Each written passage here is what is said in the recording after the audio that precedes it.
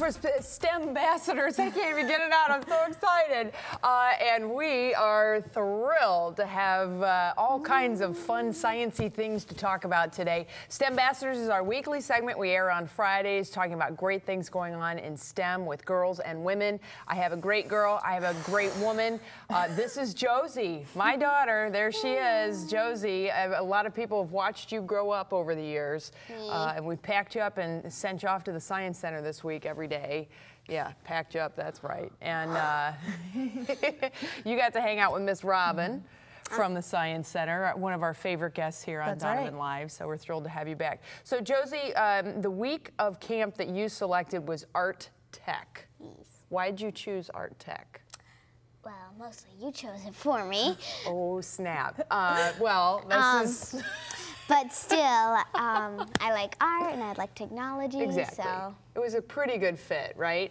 So what what kind of projects did you do this week? What kind of things did you talk well, about? Well, we did like 3D printing, galaxy stuff. Okay. Um, we also had to talk about a sculpture Mm-hmm. that like um, you can like use a fan, Okay. um, and there's a part of it that will move, Uh-huh. but it won't fall over. Okay.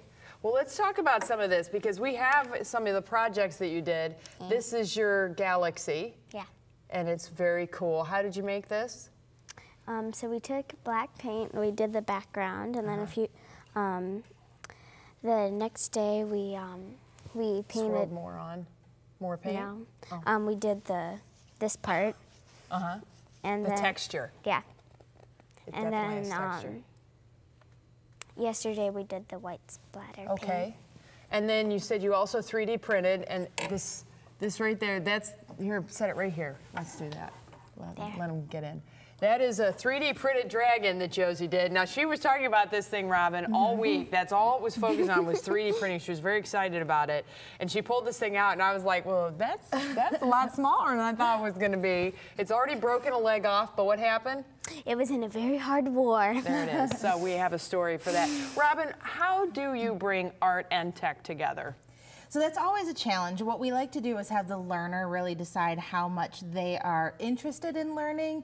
And I'm with you, Josie. 3D printing is one of my all-time favorite things. In fact, I've moved one of our 3D printers to my desk. So I was mm-hmm. able to make this for Sweet. you all. I've made an owl, I've made a cup. Like there's so many possibilities when it comes to 3D printing, from artwork Yep. to functional things like cups.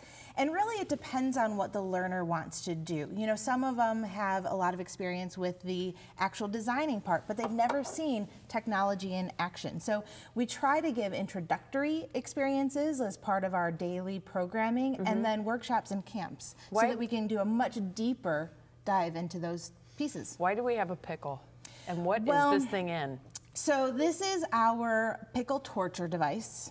And uh, one of the other things that Josie was able to do was to make a bracelet that uses an LED light that will complete a circuit and light up. So Okay. we're going to turn the lights down just a little bit and we're going to see how that electricity moves through certain objects. So this is just plugged into your standard outlet, 120 volts, but there's a lot of sodium in pickles. Yeah. it's starting to, whoa. So just like an LED will light up, a pickle will light up when exposed to an electric current.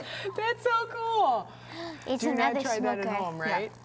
And then we have these popsicle sticks. Josie was all over this. What's Can I up with pop this? Let's pop it. What?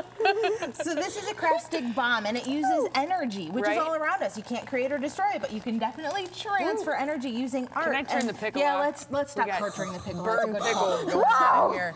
Little stank. So Yeah, so this was uh, artwork, craft sticks that you just weave into one another, And and, when you remove it, that energy gets transferred and it creates a bomb. So cool. It takes not only a lot of engineering, it takes a ton of patience. yes, we we have to work on this. So that's a great project for us. Josie, did you like the camp? Yes, I did. Awesome. Robin, thank you for fun. joining us. Thanks Always for the camp. There's more camp possibilities through the rest of the summer at the Great Lakes Science Center.